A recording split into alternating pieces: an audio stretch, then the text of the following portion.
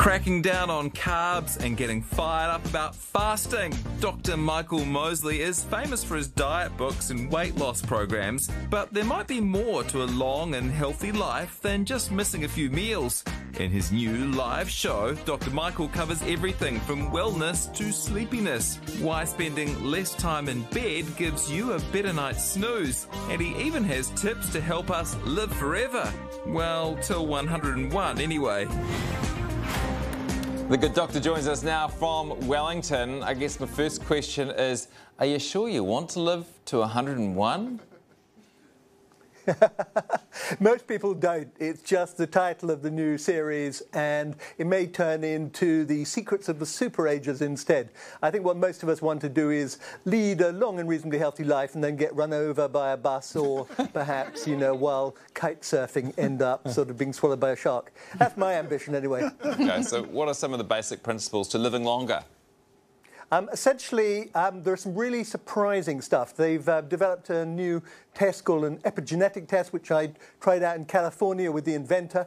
What's great about having these tests is you can then um, trial new approaches. For example, uh, one of the things that surprised me is that one of the best ways to actually slow or indeed uh, reverse some of the aging changes in the brain by uh, infusing people with blood taken from young men from fit young men. Mm-hmm. Dracula had it right.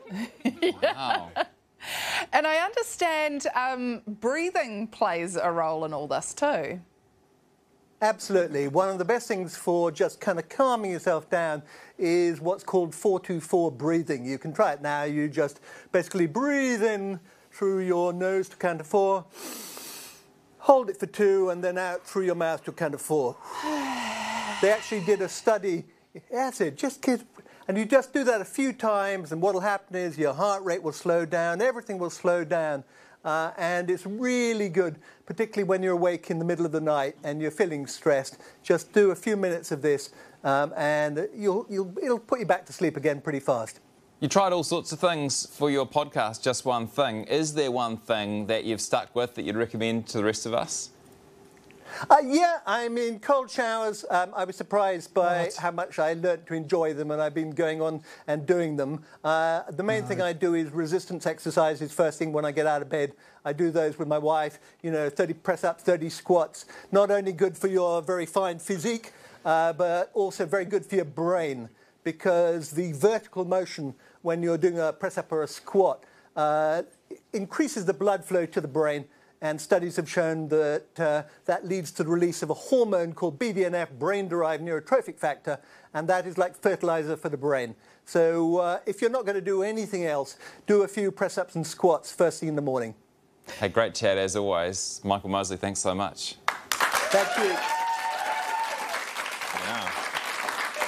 Some interesting ideas there, eh? The blood of young people. Yeah, I'm looking, looking forward to farming young people. That'll be great. I I, that's why I had four children, so that um, yeah. choose from their blood like a wine list. you're, you're going to need quite a few young people's blood, though. Oh bro. yeah, I'm working on it. Um, there's, serious, there's a serious issue here. Like everybody wants to live to 101, mm-hmm. but nobody's considering the cost to superannuation. Yeah. You know, if we live that long. God. You know? Yeah, I'm need people to be dropping off in their mid 80s in order to afford it. Oh, I, I I'd quite you... happily do that. I don't want to be around. I'm going to live to 110 uh, just because I want to get a nice big round number. I'm going to do it not through his fancy diet, but through my own. Meat and three veg, three times a day. Uh, Cocoa Pops on a Saturday morning, and Raro every night. Okay. The magic, magic formula.